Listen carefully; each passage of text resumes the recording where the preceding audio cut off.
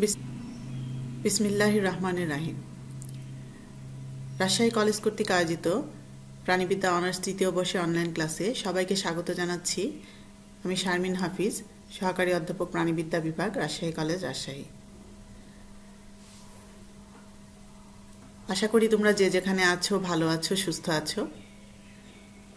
আমরা এর পূর্বে প্রাণী আচরণে অনেকগুলো ক্লাস নিয়েছি। আজকে আমরা কিছু নতুন বিষয় নিয়ে আলোচনা করব। প্রাণী আচরণের যে বিষয়গুলো নিয়ে আমরা আলোচনা করব, সে বিষয়ে আমরা যাই। প্রথমেই একটি বিষয়, এটি তোমাদের এক নম্বর কোশ্চেনেও আসে। IRM concept of innate releasing mechanism. বাংলাটা হচ্ছে অন্তর্জাত ক্রিয়া বিমুক্তকরণ কলাকৌশল প্রত্যয়। আমরা এটা দিয়ে আজকে শুরু করব। এখন এই বিষয়টা জানতে গেলে তার আগে আমাদেরকে ফ্যাপ সম্পর্কে জানতে হবে। তো ফ্যাপ নিয়ে আমরা এর আগেই ক্লাস নিয়েছি। অনেক আগেই ক্লাস হয়েছে আমাদের ফ্যাপের উপরে। ফ্যাপ মানে হচ্ছে ফিক্সড অ্যাকশন প্যাটার্ন। অর্থাৎ প্রাণীর ভিতরে কিছু বৈশিষ্ট্য যেটা জন্মগতভাবেই প্রি প্রোগ্রামিং অবস্থায় থাকে, যে বৈশিষ্ট্যটা প্রাণী তার প্রয়োজন মাফিক যখন তার প্রয়োজন পড়ে, তখন আপনা আপনি অটোমেটিক্যালি সেই আচরণের বহিঃপ্রকাশ ঘটায়। এটাই হচ্ছে ফ্যাপ বা ফিক্সড অ্যাকশন প্যাটার্ন অর্থাৎ প্রয়োজন অনুসারে প্রাণীর চাক বা না চাক, সেটা আপনা আপনি ঘটবে এবং সে আচরণের বহিঃপ্রকাশটা সে ঘটাবে তার নির্দিষ্ট সময়ে বা বয়সে যে কোনো একটা পর্যায়ে। তার ভিতরে এটা প্রি প্রোগ্রামিং অবস্থা রয়েই গেছে এবং যে কোনো সময় এটার আচরণের সে বহিঃপ্রকাশ ঘটাবে। তো এটাই হচ্ছে ফ্যাপ বা ফিক্সড অ্যাকশন প্যাটার্ন আর এই ফ্যাপটা যে বিমুক্ত করার যে টেকনিক বা মেকানিজম সেটাই হচ্ছে আইআরএম বা concept of innate releasing mechanism অর্থাৎ এর মাধ্যমে, এই আইআরএম এর মাধ্যমে ফ্যাক্টটা সাধারণত বিমুক্ত হয়। এজন্য এটাকে বলা হচ্ছে অন্তর্জাত ক্রিয়া বিমুক্তকরণ কলাকৌশল প্রত্যয়। এখানে কিছু ইংলিশ টার্ম আছে, যেমন IRM is a hypothetical innate system within an animal that response to a stimulus in the environment to produce a pre program stereotyped behaviour R FAP অর্থাৎ, এই ফ্যাপকে বিমুক্ত করার যে টেকনিক সেটাই হচ্ছে আইআরএম।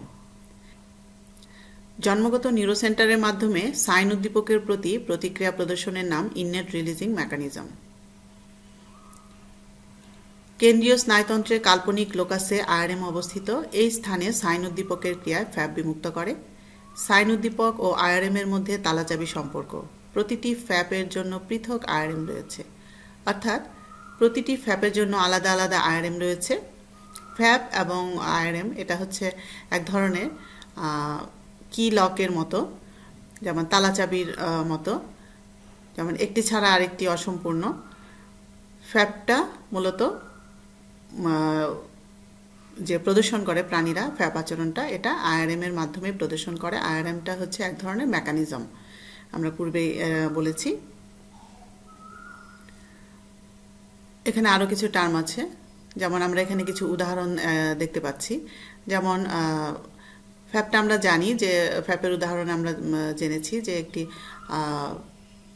লাল চঞ্চু হাঁস, যেটা তার ঠোঁটে একটি লাল চিহ্ন রয়েছে। যেটা আসলে একটা সায়েন্স স্টিমুলাস হিসেবে কাজ করে।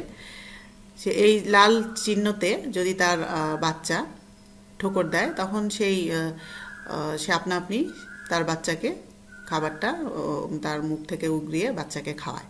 তো এই ঘটনাটি যদি ওই লাল চঞ্চু ঠোঁটের সেই লাল যে দাগটি রয়েছে, সেখানে যদি তার বাচ্চা না যে কোনো কিছু যদি কোনো কারণে ঠোকর দেয়, সে আপনা আপনি খাবারটা উগড়িয়ে দিবে। তার মানে এই যে বৈশিষ্ট্যটা, তার ভিতরে ফিক্সড রয়েছে, নির্ধারিত রয়েছে যে ওই লাল বিন্দুতে ঠোকর দিলেই সে খাবারটা উগড়িয়ে দিবে। সেটা যে পজিশনে হোক, যেভাবেই হোক, যদি তার বাচ্চা না হয়ে যদি অন্য কোনো প্রাণীও যদি সেখানে ঠোকর দেয় তাহলে সে খাবারটা উগড়িয়ে দিবে। এটাই হচ্ছে এক ধরনের ফ্যাপ আচরণ। তো এখানে আরেকটি হাঁসের উদাহরণ দেওয়া হয়েছে। যেমন দেখা যাচ্ছে যে একটি হাঁসের ডিম গড়িয়ে সামনের দিকে চলে গেছে। তো এখন সে ডিমটাকে তার বাসায় নিয়ে যাওয়ার জন্য হাঁসটা প্রথমে তার ঠোঁটটাকে ডিমটার সামনের দিকে এগিয়ে দিচ্ছে। তারপর ঠোঁটটা সামনের দিকে নিয়ে ডিমটাকে গড়িয়ে গড়িয়ে ভিতর বাসার দিকে সে নিয়ে যাচ্ছে। এটা এক ধরনের ফ্যাপ আচরণ এবং এটা বিমুক্ত হয়েছে, এই আচরণটা বিমুক্ত হয়েছে এই আইআরএম এর মাধ্যমে। এখানে এই জন্য এই উদাহরণটি দেওয়া হয়েছে ফ্যাপটাকে বোঝানোর জন্য। এবার আমরা আসি আচরণের অন্টোজেনি বা ব্যক্তিজনী অন্টোজেনি অফ বিহেভিয়ার। এটি হলো জন্মগত আচরণ ধারার বিকাশ জেনেটিক ও পরিবেশগত নিয়ামকের আন্তঃক্রিয়ার ফল। Ontogeny Ontogenesis or uh, is the the and development of of organism অর্থাৎ প্রাণীরা তার জন্ম থেকে মৃত্যুর আগ পর্যন্ত যে তাদের যে আচরণ ধারা যে বহিঃপ্রকাশ ঘটায় সেটা মূলত জেনেটিক এবং পরিবেশগত নিয়ামকের আন্তঃক্রিয়ারই ফল এই যে বিষয়টা, এটাকে বলা হচ্ছে ontogeny of behaviour Ontogeny is the development of a living being from the time the ovum is fertilized until the organism dies. অর্থাৎ, ভ্রূণ থেকে বের হওয়া থেকে শুরু করে মৃত্যুর আগ পর্যন্ত প্রাণীরা তাদের যত রকমের যে ফাংশনগুলো, যাদের আচরণগুলোর যে বহিঃপ্রকাশ ঘটায়, যেটা জেনেটিক এবং পরিবেশগত নিয়ামকের আন্তঃক্রিয়ার কারণে যে সংগঠিত হয় এই যে বিকাশটা প্রাণীদের আচরণের এটাই হচ্ছে ontogeny Development of behavior in the young from birth to maturity. During this time, the greatest changes in behavior take place. এই সময়ের মধ্যে প্রাণীদের মধ্যে অনেক ধরনের পরিবর্তন সংঘটিত হয় সকল প্রাণীর মধ্যে যেমন সহজাত আচরণ লক্ষ্য করা যায় তেমন প্রাণীদের ভ্রূণেও দুই ধরনের জন্মগত আচরণ লক্ষ্য করা যায় এখন ভ্রূণের ক্ষেত্রে কি আচরণ ধারা দেখা যায়? একটি হচ্ছে প্রিকোশিয়াল আচরণ ধারা আরেকটি হচ্ছে অলসিয়াল আচরণ ধারা জন্মের অব্যাহতি পরেই এরা মাতা পিতার ন্যায় চলাফেরা করতে পারে, খাদ্য গ্রহণ করতে পারে এবং শত্রুর হাত থেকে নিজেকে কিছুটা রক্ষা করতে পারে। যে প্রিকোশিয়াল যে আচরণ ধারা আছে, সেই আচরণ ধারার মধ্যে এই প্রাণীরা সাধারণত জন্মের পরেই নিজেরা নিজেদের মতো চলাফেরা করতে পারে, খাদ্য খেতে পারে, শত্রুর হাত থেকে নিজে কিছু রক্ষা করতে পারে এবং দেখতে তারা মোটামুটি সেই প্রাণীটার অনুরূপী বা অবিকল সেই প্রাণীর মতোই তাকে দেখতে মনে হয়। পুরোপুরি মানে শারীরিক যে বৈশিষ্ট্যগুলো রয়েছে, পূর্ণাঙ্গ বৈশিষ্ট্য নিয়ে সেগুলো জন্মায়। আর অল্টিশিয়াল আচরণ ধারা যেটা এক্ষেত্রে ভ্রূণোত্তর দশা মাতা পিতার সাথে মোটেও সাদৃশ্য নয়। ভ্রূণোত্তর দশার পর অনেক পরিবর্তন সংঘটিত হয়ে মাতা পিতার অনুরূপ হয়। অর্থাৎ ভ্রূণটি দেখতে মাতা পিতার সাদৃশ্যর মতো নয় মাতা পিতার মতো নয়। আস্তে আস্তে সেটা ডেভেলপমেন্টের মাধ্যমে, সেটা বিভিন্ন পরিবর্তনের মাধ্যমে সেটা মাতা পিতার আকৃতি লাভ করে। এটাই হচ্ছে অল্টিশিয়াল আচরণ ধারা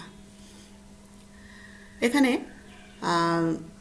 এই আচরণ ধারার মধ্যে আরও কিছু আছে, যেমন ইমপ্রিন্টিং আমরা এর আগে ইমপ্রিন্টিং হয়তো বা দেখেছি। তারপরেও আরেকবার বলছি যে ইমপ্রিন্টিং হচ্ছে যে প্রাণীরা যদি কোনো একটি আচরণ কোনো প্রাণীর ভালো লেগে যায়, কারও কিছু দেখে যে অন্য তার পূর্ণবয়স্ক প্রাণী বা তার পূর্ববর্তী যে প্রাণীগুলো আছে, তাদের দেখে যদি ভালো লেগে যায় কোনো আচরণ, তাহলে সেই আচরণে সে বহিঃপ্রকাশ ঘটাতে চায়। অর্থাৎ অনুকরণ করতে চায়। এটাই হচ্ছে ইমপ্রিন্টিং সাধারণত এটা তরুণ বয়সের বা বর্ধনশীল যে দশা ভ্রূণের ক্ষেত্রে এই আচরণটা বেশি লক্ষ্য করা যায় তরুণ বয়সের প্রাণীদের বেলায়। মানে বয়স্ক প্রাণীদের থেকে তরুণ বয়সের প্রাণীদের ক্ষেত্রে এই আচরণটি বেশি লক্ষণীয়।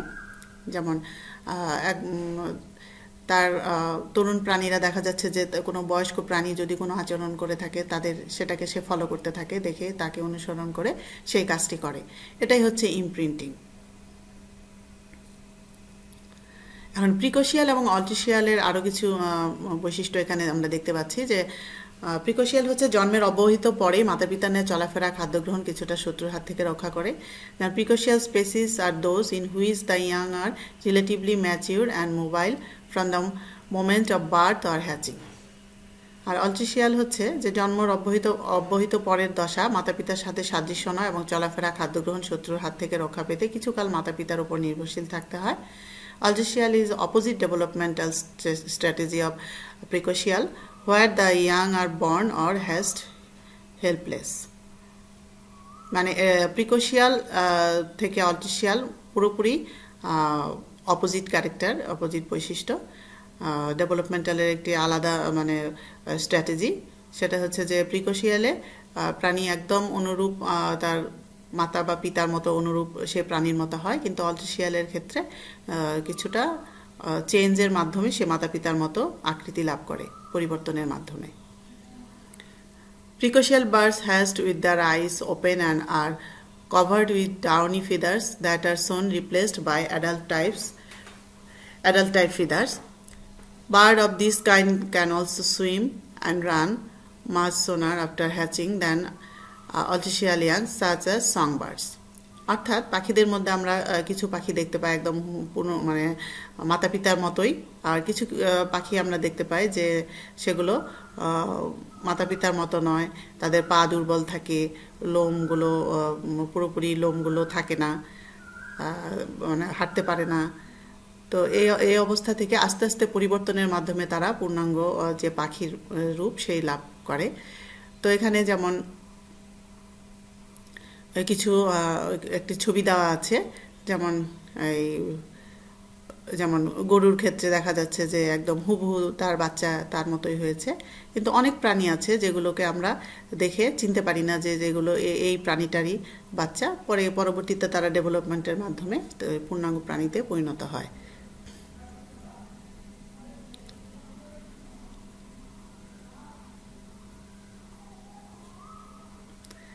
যেমন এখানে কিছু পার্থক্য আছে প্রিকোশিয়াল এবং অল্টিশিয়ালের মধ্যে। যেমন young hatch or born when almost fully developed born on hatched when not well developed open eyes hair or down এখানে often naked lacking hair or down active or mobile cannot walk or fly এখানে আছে not confined to nest confined to nest or burrow. Energy goes into parental development. Energy goes into parental care after birth. এখানেও কিছু precocial এবং অল্টিশিয়ালের ছবি আচরণ ধারার ছবি আমরা দেখতে পাচ্ছি। যেমন এখানে প্রিকোশিয়ালের ক্ষেত্রে একটি মানে পাখির ছবি দেওয়া হয়েছে, যেটি পুরোপুরি পাখির মতোই। আর অল্টিশিয়ালের বেলায় আমরা দেখতে পাচ্ছি যে লোম, লোমগুলি পরিপূর্ণভাবে গঠন হয়নি এবং পাখিটাকে দেখতেও মানে পাখির বাচ্চার মতো লাগছে না, একটু অন্যরকম। তো এখানে আমরা এই ছবির মাধ্যমে, আর প্রিকোশিয়ালের ক্ষেত্রে এখানে আমরা দেখতে পাচ্ছি একটি ক্যাঙ্গারুর বাচ্চা মানে ক্যাঙ্গারুর মতোই হুবহু। কিন্তু অন্য, অন্যদের বেলায়, পাখির বেলায় দেখতে পাচ্ছি যে একটু আলাদা। তো এখানে অনেক প্রাণী আছে প্রাণী জগতে যারা এরকম আচরণ প্রদর্শন করে, কারও বেলায় প্রিকোশিয়াল কারও বেলায় অলচিশিয়াল এখন আমরা যে বিষয়টি জানব, সেটা হচ্ছে যে প্রজনন আচরণে হাইপোথ্যালামাসের ভূমিকা। হাইপোথ্যালামাসটা হচ্ছে is a small but important area in the centre of brain মস্তিষ্কের যে কেন্দ্রে অবস্থিত একটি বিশেষ অংশ, যেটা হাইপোথ্যালামাস হাইপোথ্যালামাস সরাসরি বা পিটুটারি গ্ল্যান্ডের মাধ্যমে প্রজনন আচরণটাকে নিয়ন্ত্রণ করে। এখন, প্রজনন আচরণে এই হাইপোথ্যালামাসের কি ভূমিকা রয়েছে সেটা আমরা দেখব। It plays an important role in hormone production and helps to stimulate many important processes in the body. Sex hormones and hypothalamic region of forebrain and pituitary gland from a regulatory system for vertebrate reproductive cycles. Gonadotropin released from the pituitary gland that enables vertebrate uh, reproductive cycle. Two types of gonadal hormones, estrogen and pro, uh, progestins, are secreted in the female mammal. Estrogens are necessary for reproductive behavior of the female. Progestins are necessary for the maintenance of pregnancy, especially those produced living young. Sex hormones of vertebrates are steroids, functions as a components of cell membrane, membranes, alter membrane fluidis, uh, fluidity and as signaling. অর্থাৎ এই যে হরমোনের যত রকম যে মানে কাজগুলো রয়েছে যেমন বিভিন্ন এস্ট্রোজেন প্রজেস্টিনস তারপর তোমার গোনাডোট্রপিন, এই সবগুলোকে নিয়ন্ত্রণ করছে হাইপোথ্যালামাস, যেটা প্রজননের সাথে সরাসরি রিলেটেড যেমন male and female brains differ in the distribution of oestrogen receptors oestrogen receptors and progesterone receptors are found mainly in neurons in the anterior and mediovasal hypothalamus. Male এবং ফিমেলের ক্ষেত্রে যে হরমোন এস্ট্রোজেন এবং প্রজেস্টারন যেটাকে নিয়ন্ত্রণ করছে, এটাকেও নিয়ন্ত্রণ করছে hypothalamus the inter relationships between ovarian and pituitary hormones are based upon negative feedback prolactin controlling hormones which tell the pituitary gland to E the start to stop breast milk production in lactating mothers মানে মাতৃদুগ্ধ পানকারী মাতৃদুগ্ধ দানকারী যে মার ক্ষেত্রে সাধারণত এই prolactin hormone যে, যেটা জড়িত যে দুধ নিঃসরণের জন্য সেটাও এই পিটুটারি সেটাও এই হাইপোথ্যালামাস দ্বারা নিয়ন্ত্রিত several hypothalamic nuclei are sexually dimorphic Hypothalamus' main role is to keep the body in homeostasis. Hypothalamus acts as the connector between the endocrine and nervous system to achieve this. অর্থাৎ হোমিওস্টেসিসেও এটা গুরুত্বপূর্ণ ভূমিকা পালন করে এই hypothalamus. এবারে হলো effects of hormones in behaviour আচরণের ক্ষেত্রে হরমোনের প্রভাব। Major behaviours that control by hormones sexual and parental behaviour partnering between the opposite sex এই সব কিছুই নিয়ন্ত্রণ করে এই hormone Hormones influence behavior by in, uh, inducing certain changes within the human body with the involvement of brain.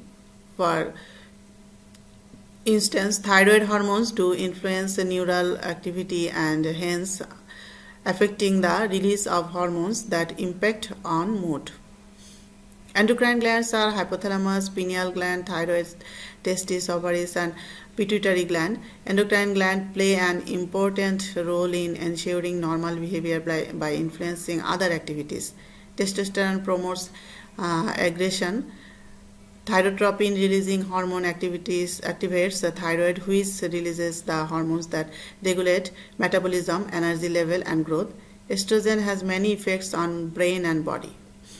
অর্থাৎ আচরণের ক্ষেত্রে hormone কীভাবে প্রভাব বিস্তার করছে সেটি আমরা এখানে দেখলাম, যেমন সেক্সুয়াল প্যারেন্টাল বিহেভিয়ার তারপর পার্টনারশিপ এই সব কিছুই বিপরীত লিঙ্গের সাথে যে পার্টনারশিপ সব কিছুই নিয়ন্ত্রণ হচ্ছে হরমোনের মাধ্যমে। এছাড়াও অ্যান্ডোক্রাইন যে গ্ল্যান্ডের যে হাইপোথ্যালামাস থেকে যে পিনিয়ার গ্ল্যান্ড থাইরয়েড এইসব থেকে যে হরমোনগুলো নিশ্চিত হচ্ছে, এই সব হরমোনগুলো সবই প্রজনন, এগুলো প্রজননের সাথে রিলেটেড কিছু হরমোন রয়েছে। তারপর থাইরয়েড হরমোনকেও সে নিয়ন্ত্রণ করছে। এই সব কিছু, এই যে হরমোনগুলো এই সব হরমোনগুলো আচরণের উপর প্রভাব বিস্তার করছে। থাইরয়েড থাইরোট্রপিন রিলিজিং হরমোন সেটাও মেটাবলিজম এবং এনার্জি লেভেল মানে গ্রোথ বৃদ্ধি, এই সব কিছুর ক্ষেত্রে এটা নিয়ন্ত্রণ করছে। আর ইস্ট্রোজেন যেটা, সেটা এই ব্রেন এবং বডির উপরে নিয়ন্ত্রণ রয়েছে। এভাবে সমস্ত হরমোনগুলোই আচরণের উপর ব্যাপক প্রভাব বিস্তার করছে। অর্থাৎ আচরণ হরমোন দ্বারা নিয়ন্ত্রিত।